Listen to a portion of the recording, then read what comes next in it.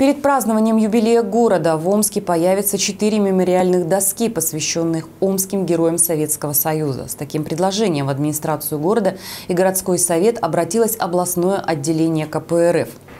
Таким образом, будет увековечена память героя Советского Союза Ивана Желтоплясова, который отличился в боях на Западной Украине и в 1945 году за мужество и героизм был удостоен высокого звания.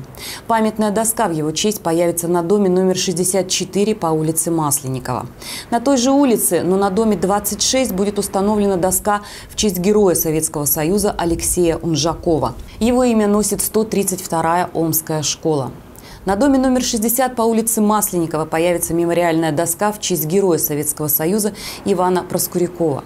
На доме 104 по улице Декабриста будет увековечена память героя Советского Союза Николая Ященко.